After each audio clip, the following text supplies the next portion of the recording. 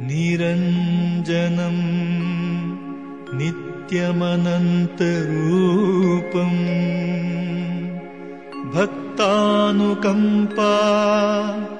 धृतविग्रहम् वै ईशावतारम् परमीशमिद्यम्।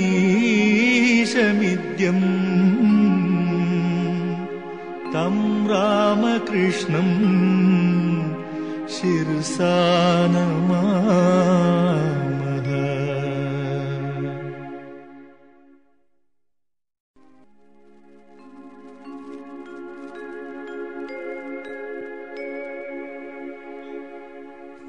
निरञ्जनम् नित्यमनन्तरूपम् भक्तानुकम्पा धृतविग्रहम् वै ईशावतारम् परमीशमिद्यम् तं रामकृष्णम् शिरसा